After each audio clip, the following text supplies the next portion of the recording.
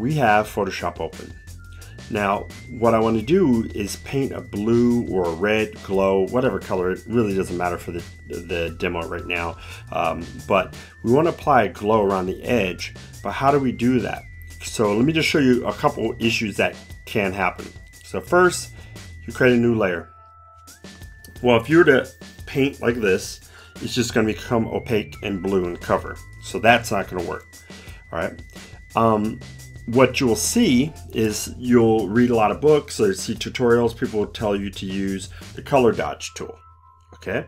So to do the color dodge tool, if you come in here, what happens is if you start painting this down, if you keep painting over and over it, it'll bleach out and it bleeds. But again, that's not the effect that we really want.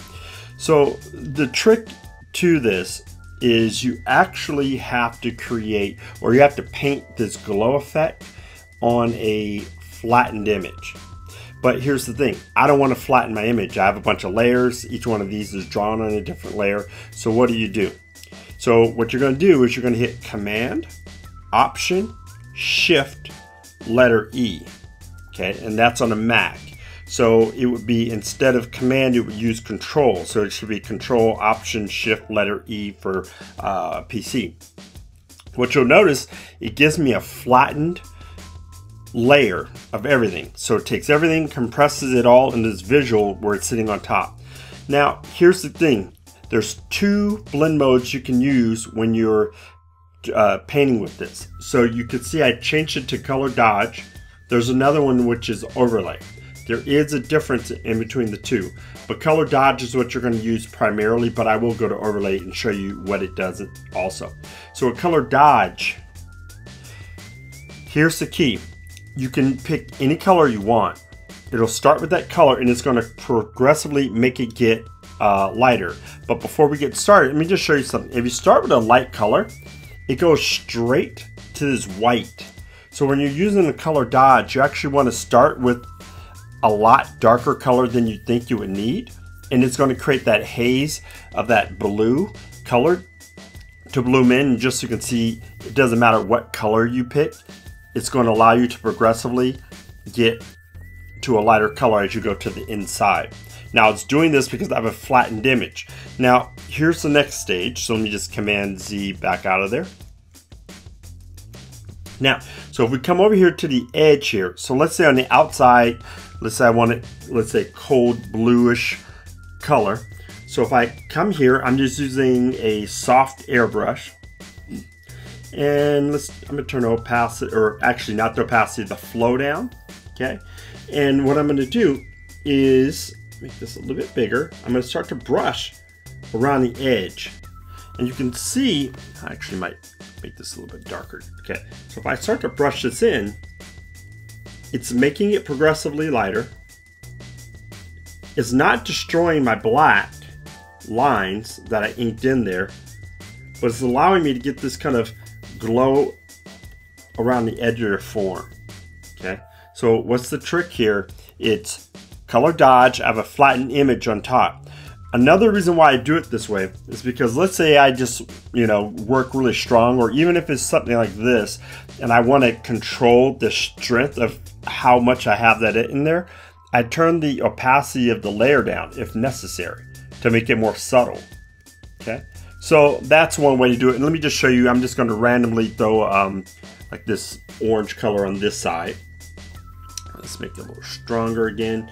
Okay, so we'll come around the edges all right? And so let's say I want a little bit around the face here. So it's giving me, again, that warm light, all right? If I keep working it in one spot, you can see it'll progressively get lighter. Now with Photoshop, you have to brush down, pick up your pen, and then apply the pressure again with the, the paint right back down again and again to get that effect, right? That's what makes it lighter. So I'm picking, putting it down, putting it down and lift up, and I'm putting it down and lift up. And that's what's gonna allow it to get lighter as you go. Okay, so you can see it just gave me this nice color dodged effect. Okay, all right. So if I want it to be lighter on edges here, I can just keep hitting it. Same thing on the other side. So what if I picked a different color like purple and I went here? So what happens if I go around outer edges here? Look, I can add one more color to this. Okay, so this allows us to get this color uh, transitions into each other. It's you know pretty easy. Right now I'm just doing this in a very kind of crude, fast way just to get the point across. But uh, it's just a quick tip that I want you guys to see. Now, let me show you one more thing here. What if I want to put, um, well, let me show you how to use the overlay effect. Now, what's the difference? Okay. Now, I want you to look. I'm going to have a tip and I'm going to go through and break down all of the blend modes and how to use them. But for what I want you to understand is I'm using a light uh, a light blend mode where even if I use something really dark, it's still going to uh, make everything lighter. When we start using overlay as a blend mode, it makes a difference what color you pick, the value. So if you go with something dark like this and I'm using an overlay, you'll notice it's making it darker, which is not necessarily a bad thing, but you have to be aware of that. So if you're using overlay as the blend mode, you must make sure you're at 50% of value and up, okay? 50% of the value and up. Now, what you'll see is if I apply, let me go back to that same color initially. So if I come in here, what it's doing, it's taking all value that's in mid-range, let's say grays, okay, not white or black. It takes anything that's in the middle and it starts to shift it towards if right now I'm a little bit lighter than 50% gray, so it's going to push the values lighter. Even though I have color, it's going to push it lighter.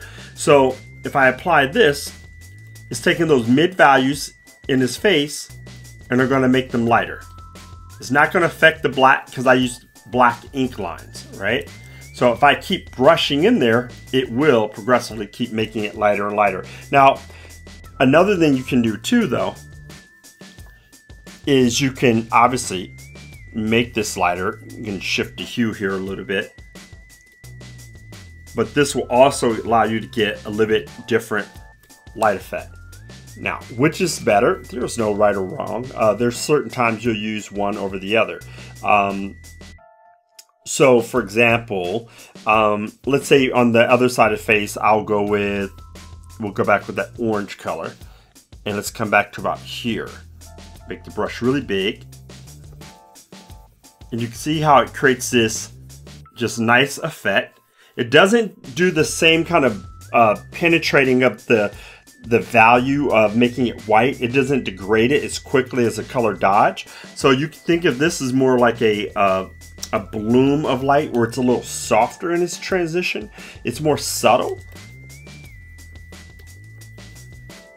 Okay, but it will keep, uh, even though it's not a dodge tool, it is actually dodging. It is making it a little bit lighter. So hopefully that doesn't confuse you. So here, I can also just switch back and I'm gonna show you something here. Keyboard shortcuts. See these, the, the menus up here? I'm gonna give you a keyboard shortcut. Shift, Option, the letter D like in dog, it goes to color dodge. Shift Option, O goes to overlay. Shift Option in like in Nancy goes to normal. So honestly, I almost never go up to the pull down menu. I'm doing it for these tips. I'm always using, I always use the, the power keys, short keys. So, and then again, dodge. And so now I can go back right in here and it's going to become a lot lighter just because of the nature of the dodge tool. This is really light. So remember what we said before, you want to come down here to make it darker.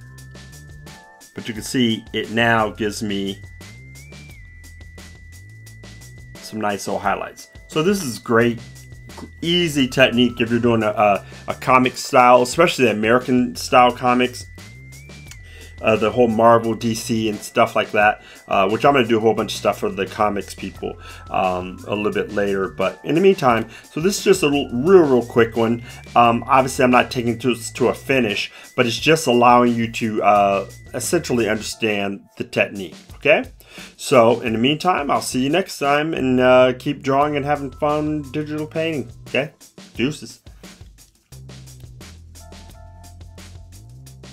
Whoa, whoa, whoa, whoa, whoa. I almost forgot. I need you guys to hit subscribe, share this, uh, likes, do something for me. Help a brother get the word out. Uh, anyway, I got a lot of stuff, like I said, coming. So just again, let's try to build this community. And uh, if there's anything you need, please uh, list down below. Uh, I am launching a website that's going to have classes, tutorials, and all kinds of good stuff. So again, let me know what you need so I can help make sure you guys level your game up.